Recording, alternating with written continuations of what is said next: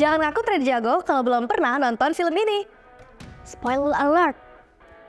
Judul filmnya The Big Short.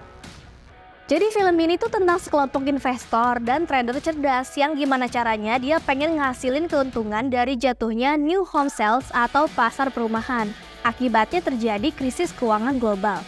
Michael Burry, manajer hedge fund yang cerdas. Dia punya ide brilian buat mendeteksi tidak stabilnya pasar perumahan dan mutusin untuk masuk ke posisi short yang beresiko.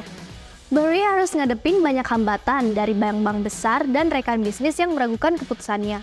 Tapi itu gak bikin dia menyerah, Sobs. Dia tetap berpegang teguh sama analisisnya yang mendalam dan berhasil menciptakan instrumen keuangan yang dikenal sebagai Credit Default Swap atau CDS untuk mengelola resiko.